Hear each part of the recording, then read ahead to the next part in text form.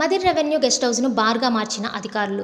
Corona virus దెబ్బకు ప్రపంచమంతా విలవిల్లాడుతుంటే దేశమంతా కరోనా మరణాల బారిన పడకుండా లాక్డౌన్ ఆంక్షలు అమలవుతుంటే ఖమ్మం జిల్లా మదిర్లో ఆంక్షలేమీ పట్టించుకోకుండా ప్రభుత్వాధికారులే మద్యం సేవిస్తూ పార్టీలు చేసుకుంటున్నారు.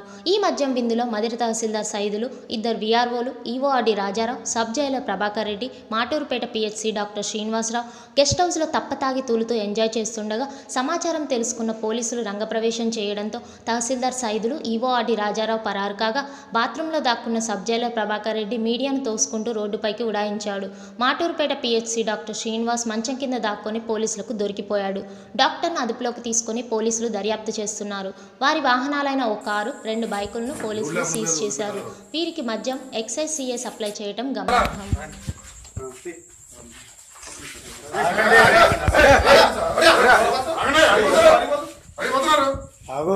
కత్తిరి తీయండి. ఖర్చు చేయాలి మీరు. మీరు కత్తిరి తీయాలి.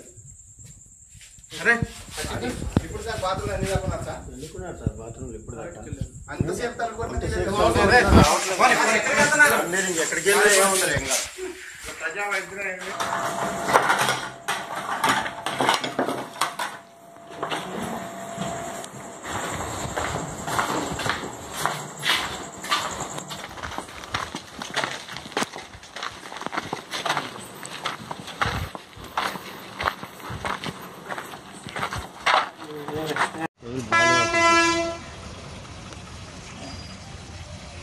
కిషోర్కి నేను ఫోన్ చేసి మీరు చెప్పిన సంగతి నాకు తెలియదు నేను ఫోన్ చేసాను తెలిసిందే కానీ కొత్తగా. ఏమంటాడు ఓ ఎప్పుడో చేసిన పెట్టే కూడా